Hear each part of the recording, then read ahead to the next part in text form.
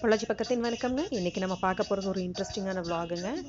கிருஷ்ணமல் காலேஜில் என் கூட படித்த ஃப்ரெண்ட்ஸ் எல்லாம் after more than two decades meet பண்ண ஃபஸ்ட் டைம் மீட் பண்ண போகிறேங்க பயங்கர பரபரப்பாக இருக்குது. என்னடா ரெசிடென்சி வரவே மாட்டேங்குதே அப்படின்னு அவளோட எதிர்பார்த்துட்ருக்கிறேன் ரொம்ப ட்ராக் ஆகிட்டே இருக்குதுங்க ட்ராவலை ஏன்னா ரொம்ப எக்ஸ்பெக்ட் பண்ணிட்டு போயிட்டுருக்கனால ரொம்ப after more than two decades நான் இப்போ தான் ஃபஸ்ட் டைம் அவங்களையெல்லாம் மீட் பண்ண போகிறேன் பட் அவங்களாம் இதுக்கு முன்னாடியே கெட் டுகெதர் வச்சு மீட் பண்ணியிருந்துருக்குறாங்க.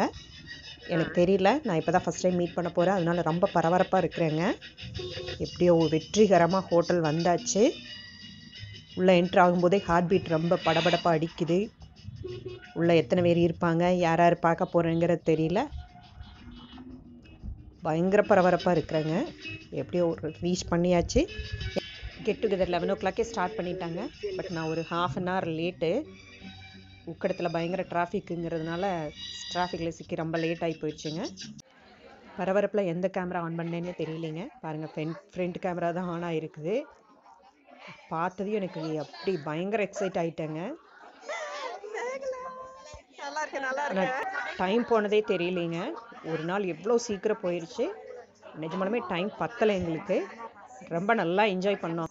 கிருஷ்ணமல்ல நைன்டி ஃபோரில் முடித்த ஸ்டூடெண்ட்ஸ் எல்லாம் மீட் பண்ணாங்க. எல்லா டிபார்ட்மெண்ட்டும் சப்போஸ் கிருஷ்ணமல்ல படித்த நைன்டி ஃபோரில் முடித்த ஸ்டூடெண்ட்ஸ் யாராவது இதை பார்த்துருக்கீங்க பார்க்குறீங்க அப்படின்னா நீங்கள் கமெண்ட் பண்ணுங்கள் நாங்கள் எங்கள் குரூப்பில் ஜாயின் பண்ணிக்கிறோம்.